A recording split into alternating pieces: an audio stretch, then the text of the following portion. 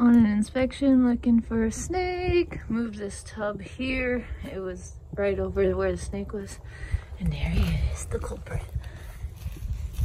They're going for a snake. Hey there, little one. You scaring people? Yeah. Cute.